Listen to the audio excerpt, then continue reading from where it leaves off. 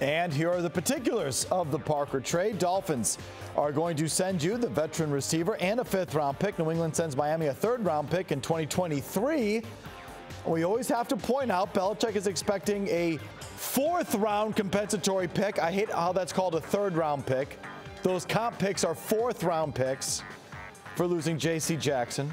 Parker is signed through the 2023 season. Contract pays him a pretty reasonable 5.6 and 5.7 next year. On uh, camera here with Ted Johnson joining us in studio. Your thoughts on this trade, Teddy? Yeah, look, I was excited because I'm a fan, I'm a fan of the player just like you are, Mike. But uh, just like you, I'm also a little bit hesitant when you consider it's a rival in the AFC East that's willing to just send them to you uh, like they were. Look, clearly, uh, um, you know, he's probably their third or maybe even fourth best wide receiver on this on the Dolphins right now. So you're, you're, you can say, you know, he's a, a number one. He was a number one. He's not now for the Dolphins. But look, I, I like the player. He gives the Patriots a deep threat. Um, I just, uh, in an element in which they really haven't had, Nelson Agholor was supposed to be that guy. He really isn't. He's been a productive player. He's been hurt the last couple years, Mike. He's missed nine games in the last two years, so he does get hurt quite often.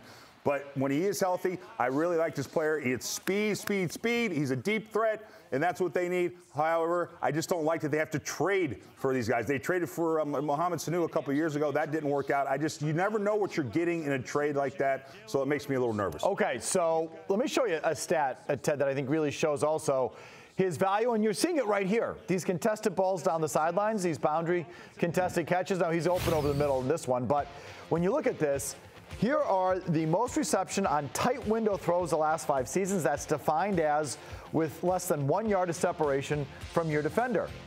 DeVante Parker leads the league and has the last, uh, however, five seasons, all right? And that's a pretty good list. Julio Jones, Mike Williams, we'd all take those guys on our team. So that's a nice list to be on top of. And I think, you know, we see that. He's physical, he's tough, he's strong. I love that about him. That's maybe my favorite thing goes over the middle, not afraid of contact. So I love those kind of receivers. It also shows you, Ted, he's not open, right? right so, like, right. I think that's the that's the bad news with that stat. Yeah. He is he's he's a contested catch guy because he I, I don't know if he's because he does have speed, mm-hmm. so he's not a refined route runner. You know, I mean, what is it? Why isn't he open more? Yeah, look, it's it's you know you see a lot of receivers because he's big. I mean, he's bigger guy. He's 6'3", so he's through 6'3", 220 pounds. Those guys usually have a little bit tougher time just running away from guys unless you're super freaks like you know maybe like a Julio Jones who's up there. But um, you know what? I, I, will tell you this. Um, you know, he, he, DeAndre Hopkins, who I covered in Houston for a long time, he does not have breakaway speed, but he is tough at the point of attack. And he's got guys draped all over him, Michael, and he catches balls because he got really strong hands, big catch radius. So at the end of the day, I almost put just as much value in that. The fact that he has strong hands, he can catch it at the high point, he's tough on those 50 50 balls. And Mac Jones, I think just all you got to do is get it close to him, and he'll catch it, and that's really what you need. Okay. Back to the Patriots um, getting this player from a team in their division. All right. There was a time, to, about 20 years, where the Pats would swing a trade like this. I think we all would say, oh, the Dolphins are, stu-, you know, the Dolphins don't know what they have. The Pats just, you know, uh, stole one from Miami. They just thieved their division rival, Wes Welker. You know, they, they don't get it. We get it. We're smart. They're stupid. We're going to win this because we're the Patriots and everyone else in this division is stupid.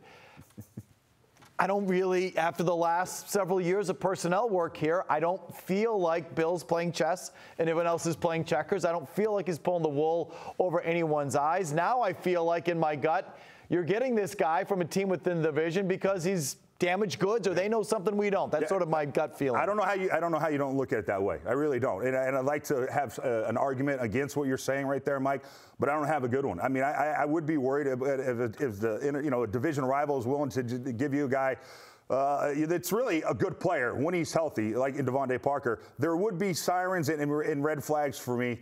However, if he passes his physical and he's healthy, um, you can see the tape. You can see the last few years. I mean, he's pretty productive. Our first round player uh, from 2015, so he's got the pedigree.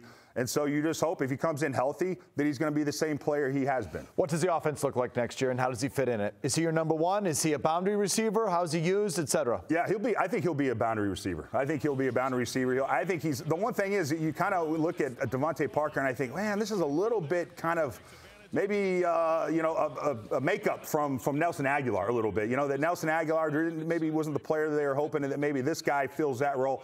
I see him being a deep threat. I see him going deep. Uh, and, and as you like don't like to hear, stretch the field. this is going to be a running team, Mike. They don't have threats down the field to open up the, the ball to run. So the Patriots are going to run the ball a lot, uh, as we know, and so they need more of a deep threat.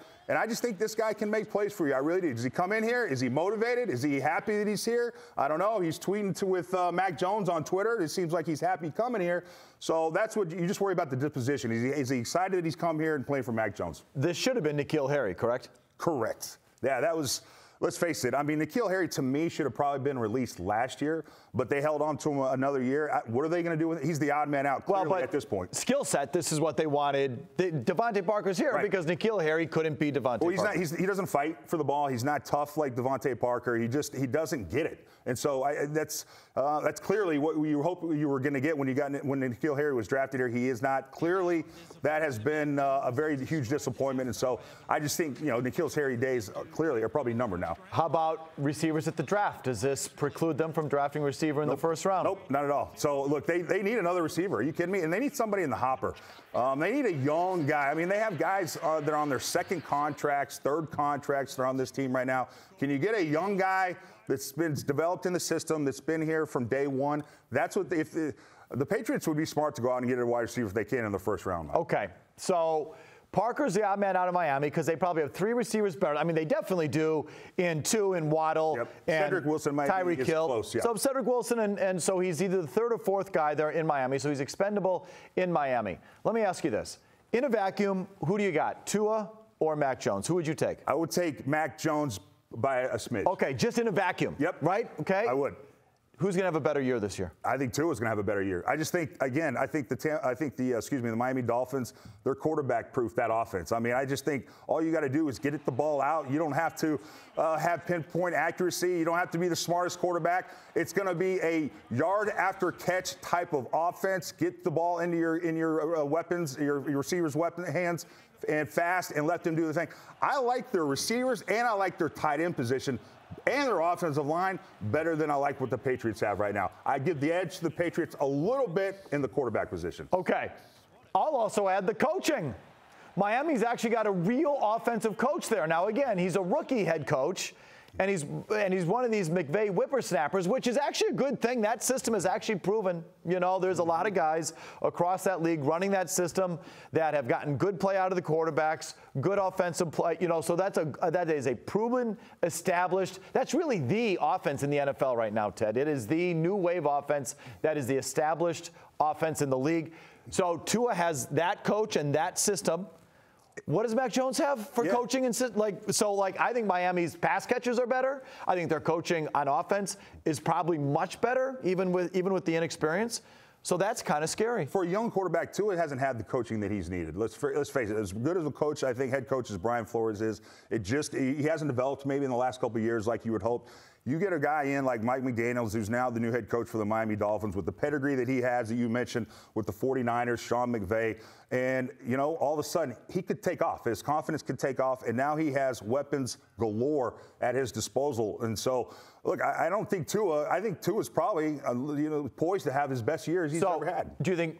Do you have Miami ahead of the Patriots right now? Absolutely, I okay. have And the Parker trade doesn't tip that balance? No, it, it really doesn't. I mean, they, they have too much uh, speed on offense, and they're too dynamic uh, with the wide receivers, the tight ends, and the running backs that they have.